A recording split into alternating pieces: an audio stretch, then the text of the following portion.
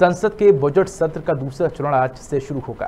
ये 6 अप्रैल तक चलेगा। एक महीने की लंबी छुट्टी के बाद फिर से शुरू हो रहे इस सत्र में टोटल 27 बैठकें होगी। इससे पहले राज्यसभा के सभापति जगदीप धनखड़ ने सदन की कार्यवाही सुनिश्चित करने के लिए रविवार को नई दिल्ली में सर्वदलीय बैठक बुलाई।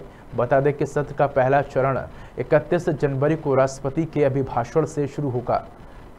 हुआ था, जो कि 13 फरवरी तक चला और जिसमें 10 बैठकें हो चुकी हैं। जिसमें चार बार सदन को हंगामे के चलते लोकसभा और राज्यसभा की कार्यवाही को स्थगित करना पड़ा था।